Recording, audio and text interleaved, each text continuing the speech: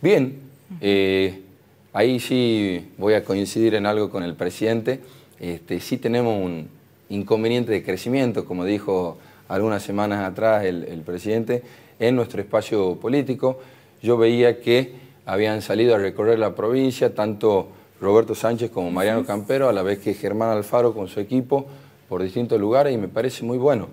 Me parece que eso habla de que hay expectativas reales de llegar al, gobierno de la provincia el año que viene y me parece bien que los dos sectores estemos este, hablando con la gente, militando, este, dando a conocer nuestras ideas, nuestras propuestas, así que lo veo bien y pienso que vamos a hacer este, una gran elección el año que viene y nos va a desembocar en la Casa de, Gobierno. Así que al espacio lo veo bien. Vos me ¿Con esta fórmula?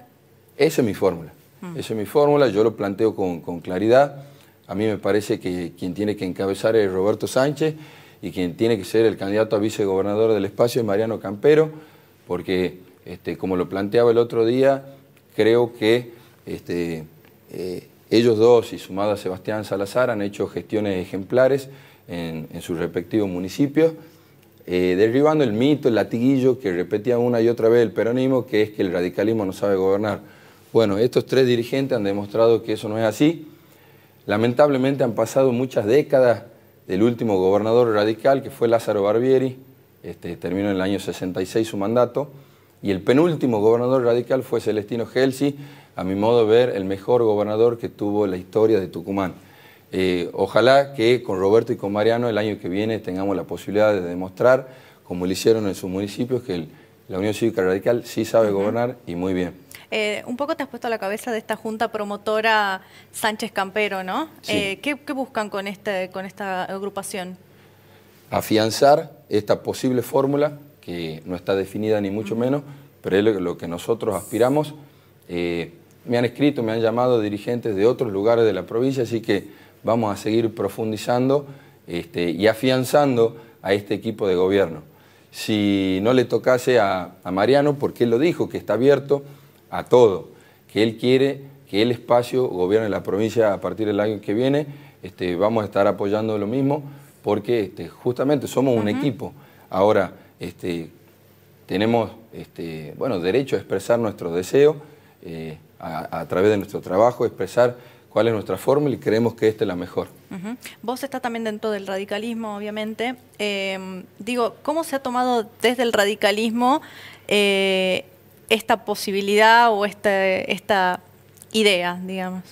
Eh, con, beneplácito. Eh, ya hace un par de meses eh, veníamos conversando con diferentes correligionarios y muchos este, ven en, estas dos personas la esperanza, la expectativa, la ilusión de, que podamos llegar el año que viene a la Casa de Gobierno y piensan que este, es una gran compañía este, de fórmula para Roberto, además este, bueno, Roberto y Mariano confían mutuamente en ellos. Hicieron una excelentísima elección el año pasado, cuando fue la elección de senadores y diputados, así que este, los dirigentes lo han tomado de buena, de buena manera esta posibilidad, este, que es nueva, ¿no? Mm. Eh, si bien era un secreto a voces, le llamemos, pero eh, hace unos pocos días que fue planteada por un grupo de dirigentes, de militantes, la posibilidad de que esta sea la, la fórmula Sánchez Campero.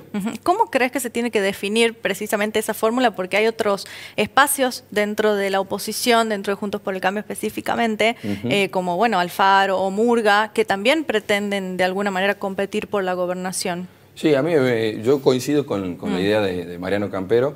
Eh, para mí lo mejor sería una elección con... una interna. Sí, una interna con, con voto electrónico y si no a través de un mecanismo de encuestas, de, dos o tres encuestas y de ahí hacer ¿De cotejar encuestadoras? sí. Mm. Lo que estoy convencido, Gaby, es que tenemos que ir todo.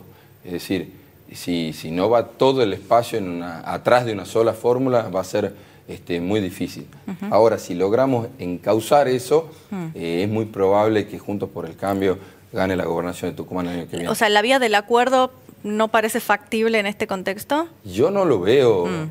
por el momento. Claro. Eh, sería lo ideal. De no, me parece que una elección interna, más allá de que no tengamos paso en Tucumán, sería algo que lo potencie enormemente al espacio, como ha pasado a nivel nacional en el año 2015. este, donde terminó Mauricio Macri siendo presidente de la Nación. Mm. A mí me parece que eh, potencia, manteniendo ciertas reglas de, convivencia en la elección, este, absolutamente positiva. Mm.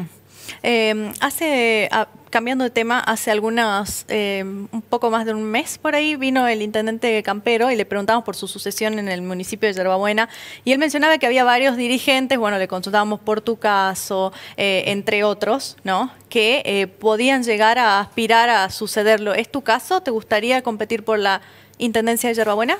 Sí, sí me gustaría. Somos varios los que, eh, como bien dijo Mariano, estamos con, las ganas, con la idea de continuar con este proyecto que ya tiene siete años. Este, así que sí, eh, me gustaría. Está Manuel Curel, está Javier Janto, está Mauricio Argiró. Somos varios, diríamos, los que tenemos la idea y las ganas. Este, seguramente nosotros sí vamos a llegar a un acuerdo. Y bueno, al que le toque, este, estaremos todos juntos para este, mantener este proyecto que nosotros pensamos que es exitoso y que ha sacado a Yerabuena del pozo y de la postergación de la que venía después de ocho años de toledismo. Eh, por otro lado, por último, quería consultarte cómo habías visto las críticas a la reunión entre Jaldo con los intendentes radicales y con Roberto Sánchez. Me parecen de alguna manera injustas porque me parece que tendría que ser eh, algo eh, común, algo corriente que tres intendentes y el presidente de un partido que es el representante de esos tres intendentes radicales vaya a acompañarlo. Eh, como todos sabemos, tenemos una situación económica muy difícil y los municipios no somos ajenos.